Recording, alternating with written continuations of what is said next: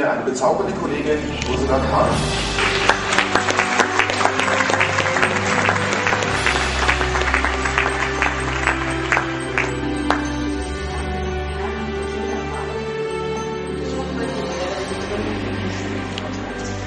sind manchmal ein bisschen lang. Ich habe schon einiges rumgestrichen und deshalb wird es äh, manchmal holprig. Bitte verzeiht mir das. Ja? Also, wird ein bisschen.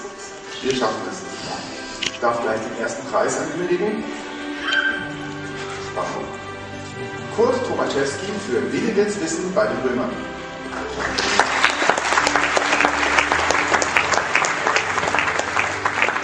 Und wo man vor allem ein bisschen nachdenkt. Meiner hat sich ein bisschen verfangen in seltsamen Spielen.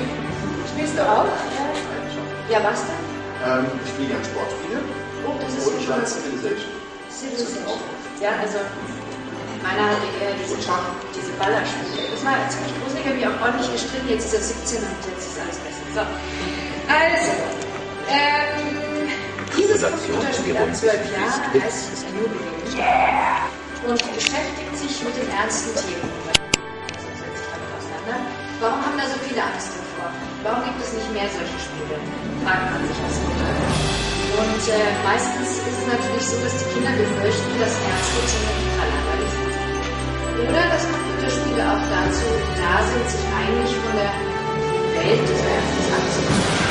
Aber es gibt Menschen, die schaffen es, Spiel zu entwickeln, das beides kann. Nämlich spannend sein und gleichzeitig was zu lernen. Jetzt kommt die Begründung der Jury. A New Beginning beweist, dass Computerspiele viel mehr sein können als nur harmlose Ablenkung. Das Spiel verpackt die Bedrohung unserer Umwelt durch den Klimawandel in eine spannende Science-Fiction-Geschichte. Die Schecks nach vorne halten. Noch ein tolles Foto. Guten Tag, komm ruhig vor. Servus. Ja. In the ears? Schau mal du auf, du siehst aus so eine Bühne. Geht's jetzt?